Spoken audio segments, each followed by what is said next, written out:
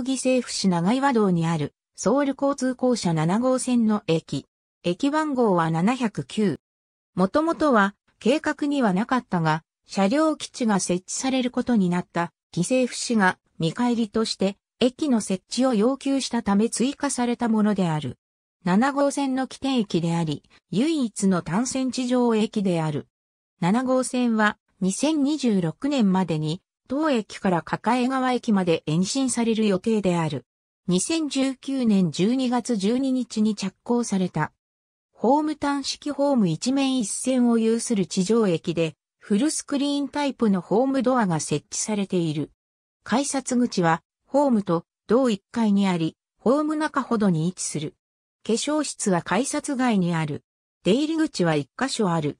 近年の1日平均利用人員推移は下記の通り。